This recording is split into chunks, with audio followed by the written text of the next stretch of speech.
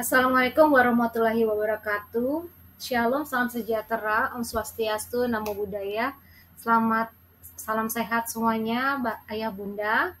Eh, kita ada di materi terakhir, yaitu yang kelima, tentang circle time. Dan pada kali ini, yang terakhir ini kita akan melihat tentang praktek terbaik dan evaluasi circle time di PAUD. Selamat menyimak ya.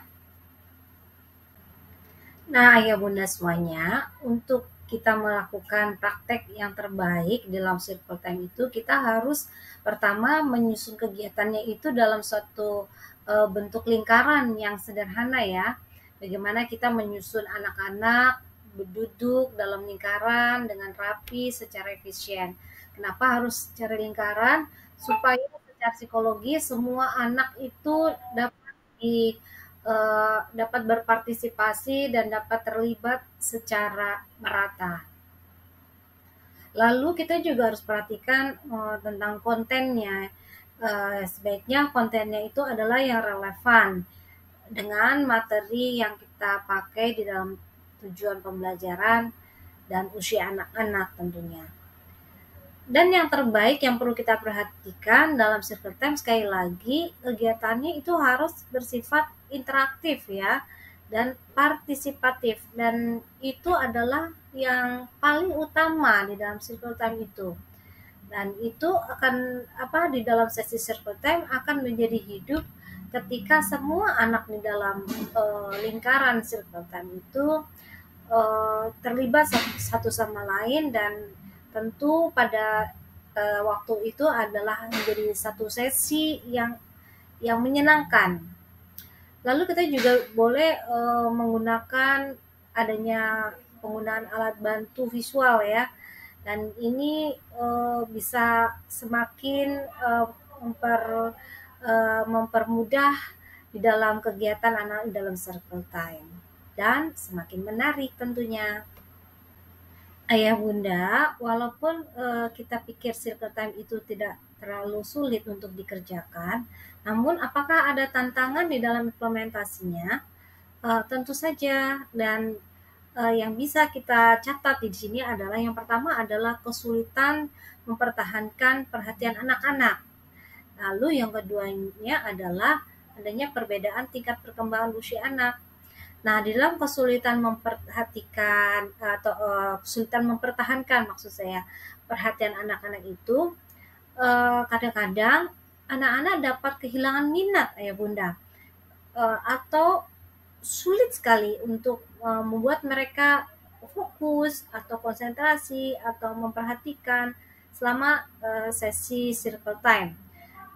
Lalu kemudian uh, setiap anak juga memiliki tingkat perkembangan yang berbeda yang membuat pengajaran itu menjadi penuh tantangan ya. Nah, bagaimana cara mengatasinya? Uh, guru sebaiknya ini agar untuk menarik anak-anak itu memiliki perhatian yang penuh, uh, kita harus kreatif ya dalam aktivitasnya. Kita gunakan uh, variasi aktivitas yang menarik seperti ada permainan ya. Lalu kita gunakan musik lalu kita menggunakan cerita. Semuanya itu adalah untuk mengarahkan menjaga atau menjaga minat anak-anak agar tidak mudah teralihkan. Lalu kemudian kita juga membuat satu diferensiasi uh, untuk mengatasi tingkat perkembangan eh, anak-anak yang berbeda. Dengan adanya diferensiasi pembelajaran itu uh, akan bisa disesuaikan ya uh, aktivitasnya atau tingkat kesulitannya itu disesuaikan dengan kebutuhan dari masing-masing anak. Selanjutnya, bagaimana kita membuat satu evaluasi di dalam circle time? Yang pertama adalah kita e, mengukur kemajuan anak ya uh, bagaimana mengamati dan mengevaluasi kemajuan anak selama circle time. Nah, itu pengamatannya adalah uh, guru atau pengajar itu dapat secara aktif mengamati anak-anak selama sesi circle time, ya. Perhatikanlah perilaku mereka, termasuk partisipasi mereka, lalu kemampuan mereka berinteraksi, keterampilan mereka berkomunikasi, kemampuan mereka mendengarkan, dan kemampuan mengikuti petunjuk. Nah, semua pengamatan ini bisa dicatat dalam bentuk catatan atau checklist.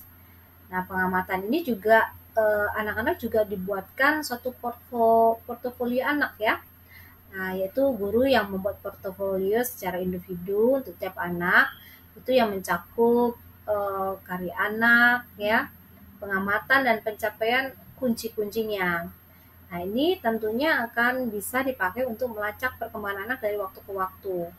Lalu selain itu juga kita bisa membuat satu kuesioner untuk orang tua. Guru e, mengirim satu kuesioner kepada orang tua untuk meminta umpan balik tentang kemajuan anak di rumah ya yang terkait dengan sesi time di sekolah.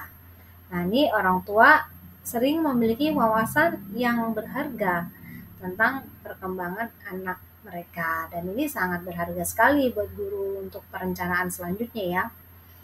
Lalu kemudian evaluasi yang kedua adalah penggunaan daftar periksa. Nah, cara penggunaan daftar periksa atau checklist itu yaitu tadi yang seperti saya jelaskan di awal yaitu untuk melacak perkembangan anak apakah eh, eh, poin-poin ini apa yang yang kita tetapkan dalam tujuan itu sudah tercapai atau belum. Nah, Ya, lalu uh, evaluasinya melalui pemberian umpan balik itu sangat penting dan juga uh, per perbaikan berkelanjutan. Bagaimana dari hasil evaluasi ini kita uh, menyesuaikan ya hasilnya ini untuk untuk mendapatkan hasil yang maksimal. Nah, ya Bunda, itulah slide terakhir dari penjelasan materi yang kelima tentang praktek terbaik dan evaluasi dalam circle time.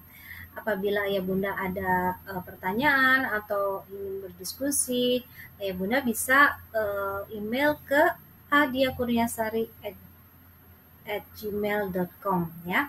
Terima kasih. Semoga bermanfaat. Sampai jumpa.